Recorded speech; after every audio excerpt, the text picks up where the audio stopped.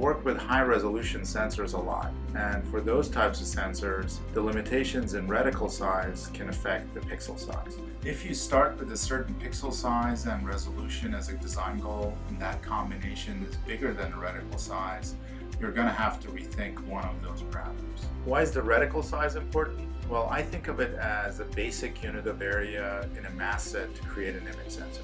You have to fit your pixels, readout, seal ring, pad ring, references, basically everything into that area. Otherwise, you'll have to use stitching, which tends to drive up the NRE costs, the wafer price, and you'll have to remember that it's not available in all the foundry processes. Many times we're pushing the limits of what's available in the foundry in terms of reticle size. The foundries seem to have two flavors of reticle size, 32 by 24 millimeters and 22 by 22 millimeters. So the maximum reticle size of 32 by 24 millimeters is a critical number to remember. Resolution is usually defined by the marketplace requirements. So usually what we do is to work with the customer on optimizing pixel size for a given resolution.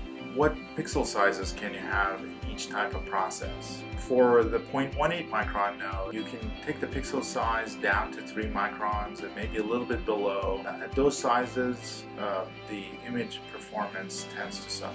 In the 110 nanometer node, you can take the pixel size down to 1.75 micron. But again, I wouldn't expect great imaging performance at that pixel size. In that node, I would recommend to stay above 2.2 micron pixel size. And in the 65 nanometer node, you take the pixel size all the way down to 1.5 to 1 micron. My personal opinion is that in each process there's an optimal pixel size. So when we discuss pixel sizes with our customers, we have to be very careful when that pixel size is too much bigger or too much smaller than a certain optimal value of pixel size in a given process. The problems with smaller pixel sizes are generally better known. You just have a smaller pixel area to absorb photons you have a certain minimum number of transistors and interconnect that you need to fit into a pixel. And as the pixel size gets smaller and smaller, that leaves very little room for an area to absorb the photons.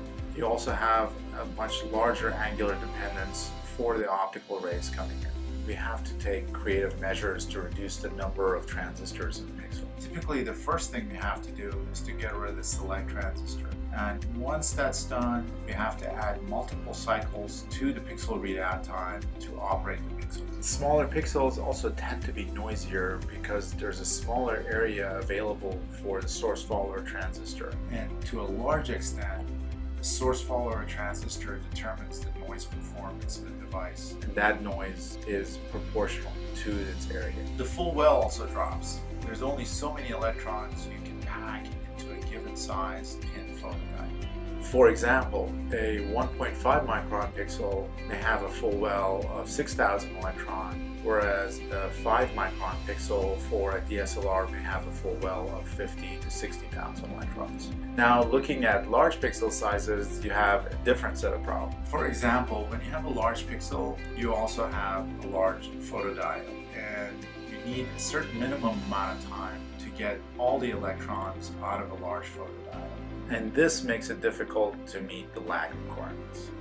Lastly, conversion gain might be lower for a larger pixel. This tends to be counterintuitive, but it's related to the lag. To help reduce the lag of the pixel, we tend to increase the width of the transfer gate. That makes the area of the floating diffusion much larger. But a larger transfer gate means a larger floating diffusion area which leads to a larger capacitance and a lower conversion gain. So at Forza, a big part of what we do in creating the specifications with our customers is to optimize the pixel size.